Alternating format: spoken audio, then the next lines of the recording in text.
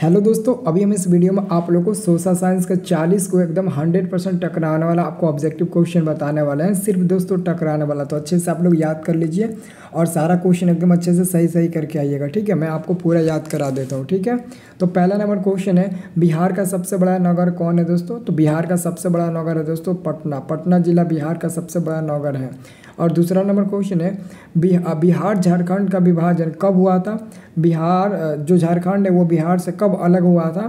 तो पंद्रह नवंबर 2000 हज़ार ईस्वी में जो झारखंड है वो बिहार से बिल्कुल अलग हो गया था। इसका आंसर याद रखना।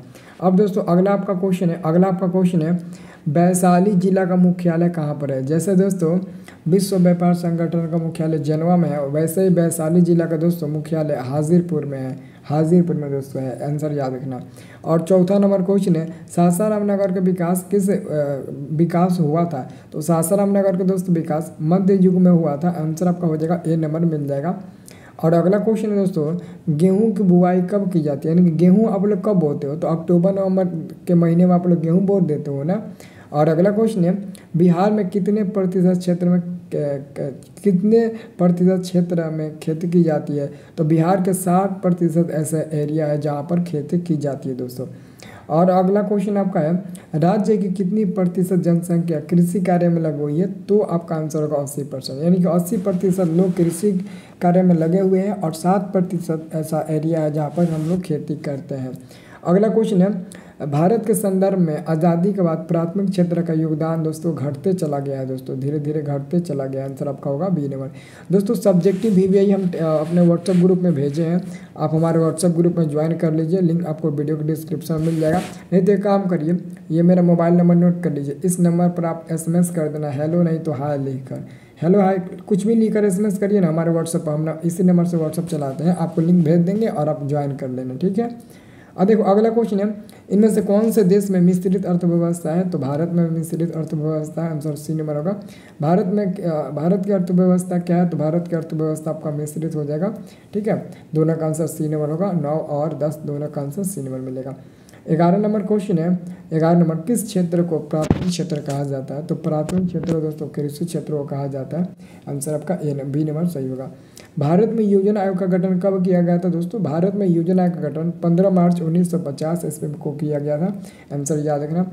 अगला क्वेश्चन है, जिस देश का राष्ट्र अधिक होता है, वह देश क्या कहलाता है? तो विकसित देश कहलाता है। आंसर आपका बी नंबर मिल जाएगा।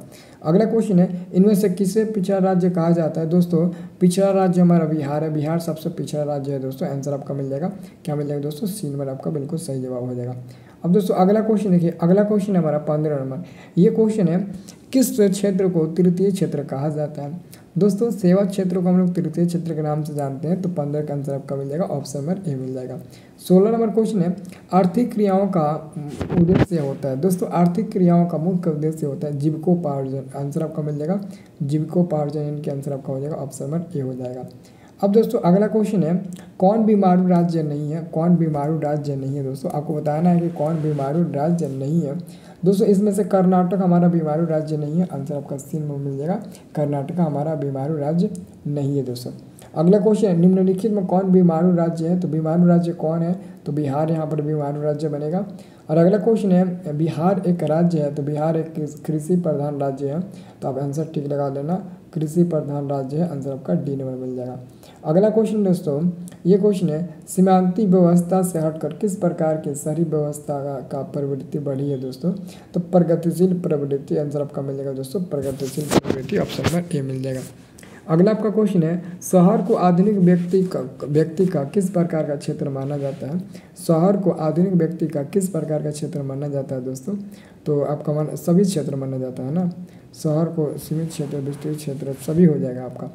अगला क्वेश्चन है, स्थायी स्थायी कृषि के प्रभाव में कैसा जमाव संभव होता है? तो ये संपत्ति जमाव संभव होता है। आंसर आपका बाईस का ऑप्शन में ए मिल जाएगा, याद रखना, ठीक है?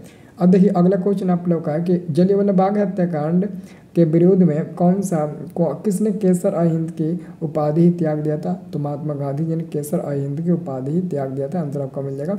बी नंबर बिल्कुल सही जवाब हो जाएगा दोस्तों। अगला हमारा क्वेश्चन है कि वल्लभ भाई पटेल को सरदार की उपाधि किस किसान आंदोलन द्वारा दी, दी गई थी? तो वल्लभ भाई पटेल को सरदार की उपाधि किस किसान आंदोलन द्वारा दी गई थी? तो बारदोली दोस्तों ऑप्शन नंबर ए मिल जाएगा बारदोली ओके अब देखो, अगला क्वेश्चन है। गांधी जी ने साबरमती आश्रम की स्थापना किस वर्ष की? महात्मा गांधी जी ने साबरमती आश्रम की स्थापना किस वर्ष की? दोस्तों, इन्होंने साबरमती आश्रम की स्थापना 1915 में किया था। 25 मई 1915 में, क्योंकि इन्होंने उन्नीस सौ पंद्रह ईस्वी में ही दक्षिण अफ्रीका से वापस लौटे तो प्रथम इन्होंने स्थापना साबरमती आश्रम के ही किया था। अब अगला क्वेश्चन है, भारतीय राष्ट्रीय कांग्रेस की स्थापना कब हुआ था? अठारह सौ पचासी ईस्वी में राष्ट्रीय राष्ट्रीय पार्टी की स्थापना हो गया था। अगला क्वेश्चन है, हिंदुस्तान रिव्यू का प्रकाशन किसने आरंभ किया था? सच्चिदानंद सिन्हा। आंसर आपका मिल जाएगा डी नंबर सच्चिदानंद सिन्हा। अगला क्वेश्चन है दोस्तों, अगर आप लोगों ने हमारे चैनल को सब्सक्राइब नहीं किया तो ज़रूर कर लेना, ठीक है ना? आपको पूरा वीडियो दे देंगे। वर्नाक्युलर प्रेस एक्ट कब पारित हुआ दोस्तों? अठारह सौ कितना में? अठारह सौ अठहत्तर, इसमें आंसर आपका मिल जाएगा सी नंबर अगला क्वेश्चन है, महात्मा गांधी जी ने नमक कानून किस दिन भंग किया था? महात्मा गांधी जी ने नमक कानून को किस दिन भंग किया था दोस्तों?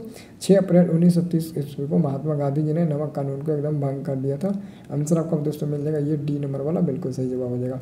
अगला क्वेश्चन है, आज दुनिया के लगभग कितने देशों में लोकतंत्र किसी न किसी रूप में विद्यमान है दोस्तों? तो लगभग दोस्तों सौ देशों में, ठीक है ना? याद रखना। अगला क्वेश्चन है, भारत में लोकतंत्र के इतिहास कितने वर्षों का है? तो भारत में लोकतंत्र का इतिहास सत्तर वर्षों का है। आपको आप आज से जोड़ लीजिए, लगभग सत्तर वर्षों का होगा। अगला क्वेश्चन निम्नलिखित में कौन सी व्यवस्था उत्तरदायी एवं वैध है? तो लोकतांत्रिक दोस्तों आंसर होगा ऑप्शन नंबर आपका बी नंबर मिल जाएगा। तैंतीस नंबर क्वेश्चन है, निम्नलिखित में किस व्यवस्था में चुनाव नियमित रूप से होता है? लोकतांत्रिक व्यवस्था में चुनाव दोस्तों नियमित रूप से होता है, ठीक है ना? तो दोस्तों, आप लोग हमारे टेली व्हाट्सअप ग्रुप में जाइए, जो मैंने आपको नंबर दिया था, उस पर एसएमएस करिए, ताकि हम आपको व्हाट्सअप ग्रुप का लिंक भेज दें, और जाइए ग्रुप से आप पीडीएफ डाउनलोड करिए सब्जेक्टिव